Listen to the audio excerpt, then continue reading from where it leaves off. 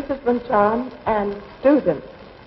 It is really a very, very great pleasure to meet you and to know that you are studying English and that you are going to be better able to understand us from America.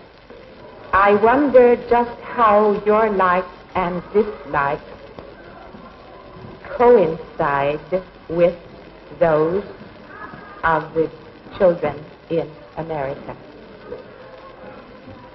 The girls may have some questions to ask you. Fine. Miss Marian Anderson, what is your favorite song? I have two favorites. They are both Negro spirituals. Do you know about Negro spirituals? They are songs of my people that are born out of their, when they were very sad, they have made these songs. Later, their songs were a bit more gay. But this one, tramping, it is called, means walking along slowly and very hard because you have on your shoulders many unpleasant things. And so the song means when you go to the other land, everything will be beautiful. In this state, Abraham Lincoln, one of the presidents of whom you have learned much, made for the Negroes in America a freedom, a, a, we say emancipation. You know the word freedom. Hmm? And after this freedom, for which they were most grateful, their songs began to be more gay. Why? Because they began to feel that they, your word, belong. It was Abraham Lincoln with his proclamation. They know the word proclamation? I think so. The word proclamation means a paper that is written to say, now we will do the thing in a new way. And this new way was of great benefit to the Negroes in the United States. I'm tramping, tramping, trying heaven my home. Hallelujah, I'm tramping,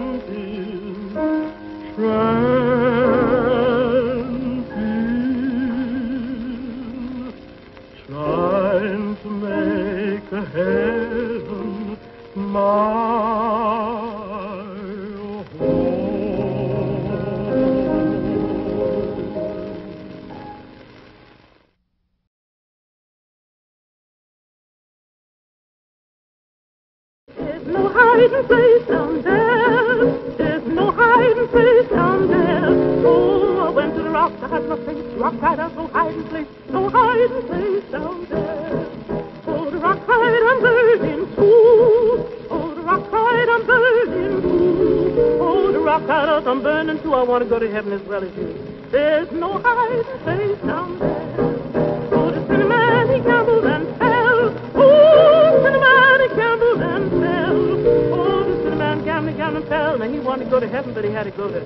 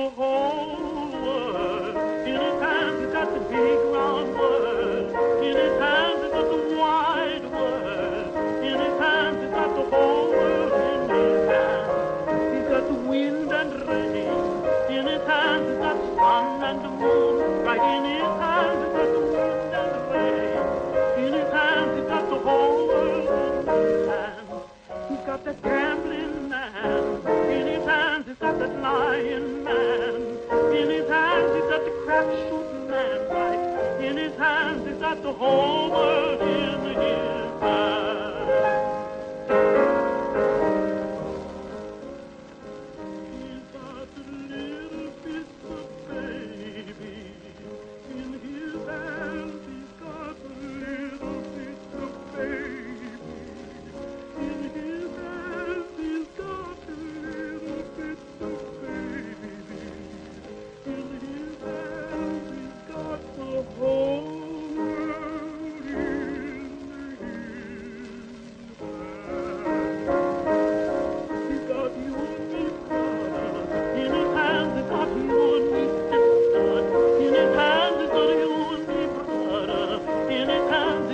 Oh.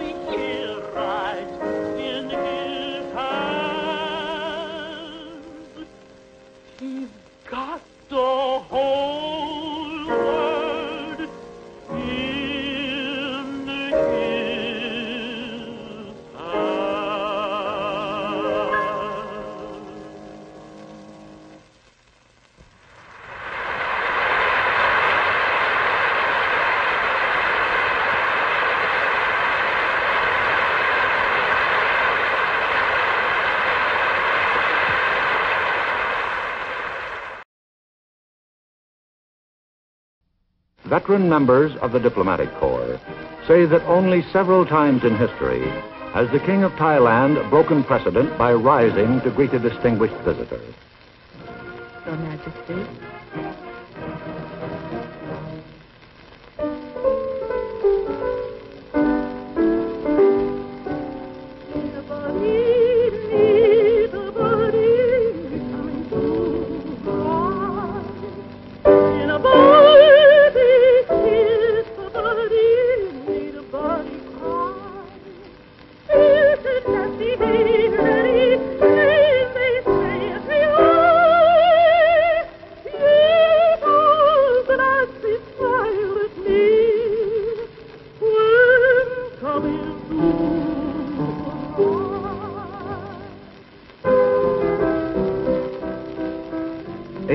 Thousand people heard Miss Anderson in a single concert in Hong Kong. And in Manila, the Philippines Herald called her a brilliant singer and a great woman.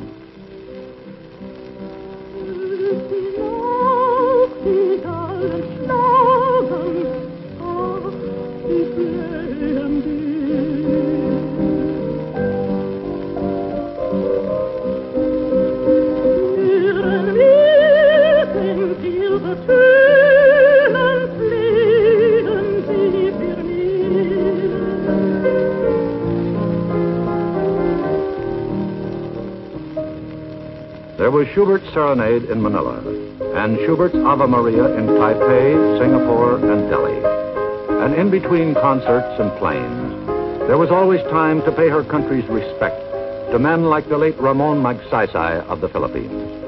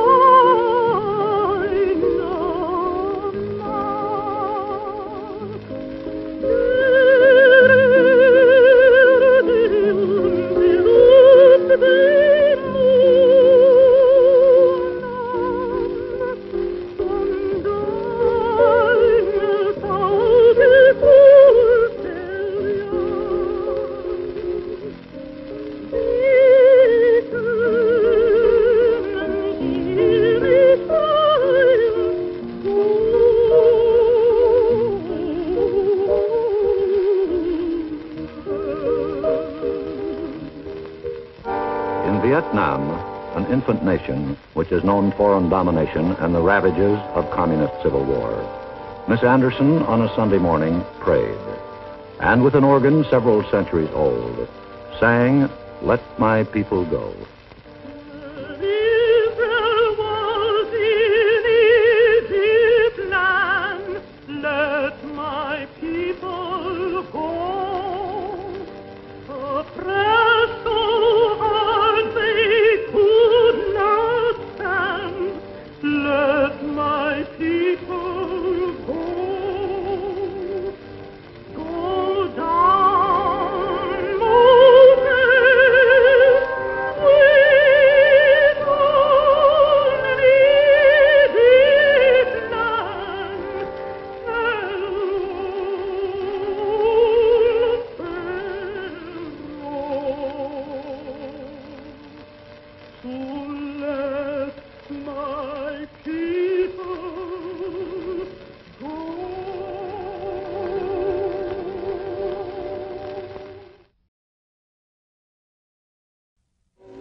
It is now my very great honor to present to my fellow Americans the Bombay City Orchestra in Mon Coeur from Samson and Delilah by Saint-Saëns.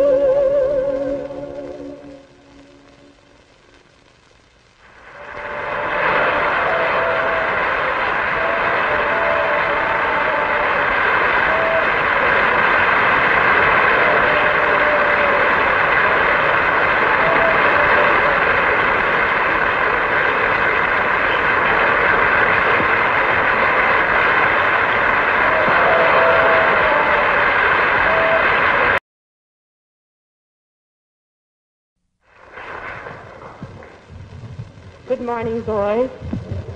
It is a distinct pleasure to be here this morning and to greet you in this close fashion. There is absolutely no doubt in my mind that some of you who sit here today will have the destiny of this country in your hands.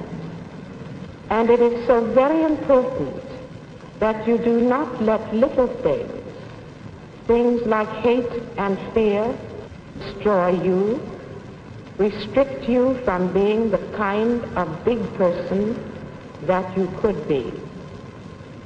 And I might bring to your attention that hate and fear are two things with which babies are not born. And I have this morning a song which epitomizes this statement.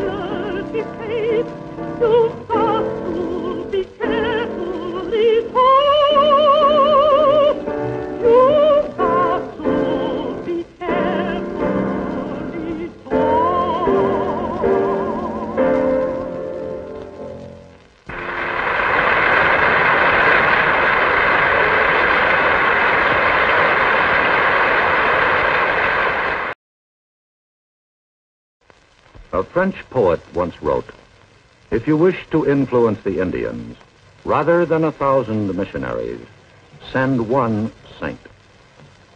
The United States sent Miss Anderson, and one morning she led a throng of several thousand Indians to the beautifully simple shrine of their great saint, Mahatma Gandhi. The mayor of Old Delhi introduced the lady from Philadelphia. at the age of eight to scrub neighbors' doorsteps to save up the money to buy a violin. She is known and honored in every quarter of the globe. Ladies and gentlemen, we are fortunate in having this talented lady of world renown amidst us this morning. Her approach to music is essentially spiritual.